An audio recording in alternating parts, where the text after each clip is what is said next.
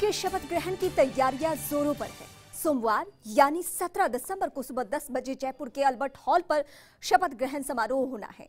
इस कार्यक्रम के लिए डीओपी ने आदेश जारी कर तिरालीस आरएएस की और ड्यूटी लगवा दी है। वहीं अधिकारियों के दल ने अल्बर्ट हॉल का जायजा भी लिया है। तस्वीरें हम आपको दिखा रहे हैं। ऐतिहासिक हॉल है ये।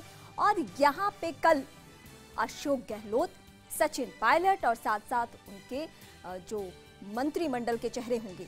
वो सभी शपथ लेने वाले हैं। तस्वीरें हम आप तक सबसे पहले पहुंचाएँगे और उसके पहले जो तैयारियाँ कैसी है, इस पे हमारी निगाह है, इस पे हमारी नज़र है। और तैयारियों को लेकर पूरा अमला किस तरीके से अलर्ट है, वो फ़िलहाल हम आपको बता रहे हैं। डीओपी ने आदेश जो जारी किया है, उसके बारे में भी आप तक जानकारी, अधिकारियों ने अल्बर्ट हॉल का जायजा लिया है। गहलोत सरकार का शपथ ग्रहण समारोह अल्बर्ट हॉल में होगा। आज़ादी के बाद ये पहला मौका होगा, जब प्रदेश की सरकार का शपथ ग्रहण अल्बर्ट हॉल के बाहर होगा। सचिवालय में दो बैठकें लेकर सीएस डीबी गुप्ता ने तमाम तैयारियों की। 360 डिग्री समीक्षा करते हुए विभागों को ज़रूरी निर्देश दिए हैं। बैठक लेकर सीएस ने विभाग के अधिकारियों की ज़िम्मेदारी भी तय कर दी है। वहीं प्रोटोकॉल में अब तक चौवन आरएएस अधिकारियों की ड्यूटी लगा दी गई है। सुरक्षा के लिए डीजीपी ओपी गुलहोत्रा और पुलिस आयुक्त संजय अग्रवाल को निर्देशित किया गया है। पार्किंग और यातायात व्यवस्था सुचारू करने के लिए भी कहा है और खास तौर पर यह निर्देश दिए गए हैं कि शहर के हृदय स्थल अल्बर्ट हॉल में समारोह करने में आम जन को ज़्यादा तकलीफ़ ना हो। समारोह में कांग्रेस अध्यक्ष राहुल गांधी के साथ कई दिग्गज नेता शामिल होने वाले हैं।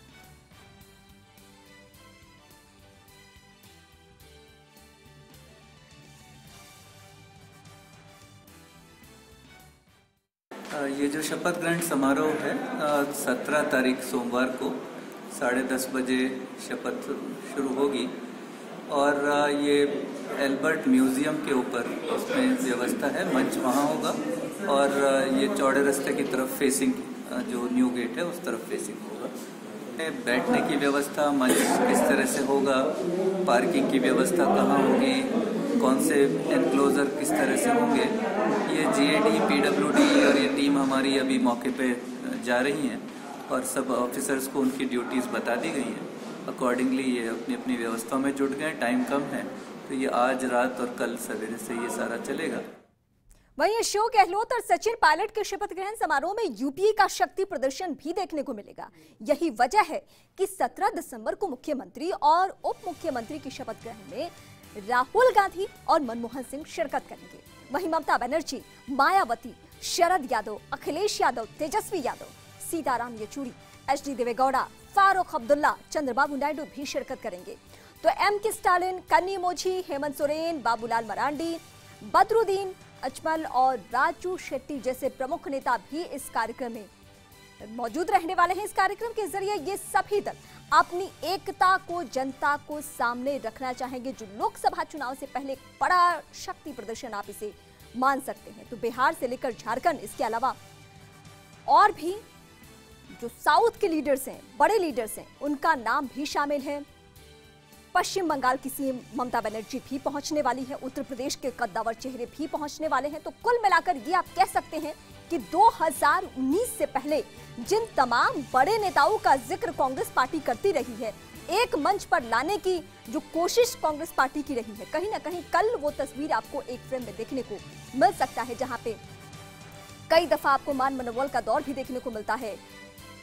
एक ऐसा रास्ता कांग्रेस पार्टी अख्तियार करना चाहती है, जिस राह पे ये सभी जो बड़े राजनेता है वो आ जाए, लेकिन कल ये शक्ति प्रदर्शन के ज़रिए आप समझ सकते हैं कि आखिर आगे की राजनीति कैसी रहने वाली है।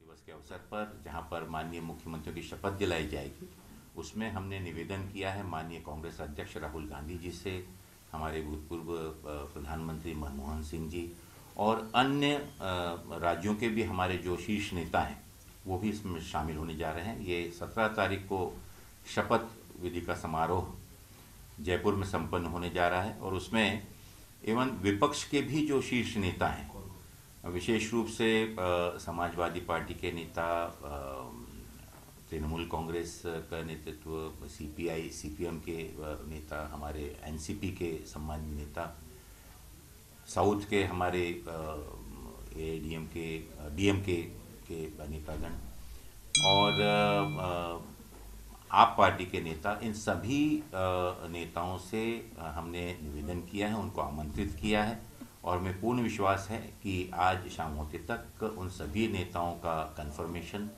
और उनकी उपस्थिति जयपुर के इस राजस्थान के शपथ समारोह में होगी।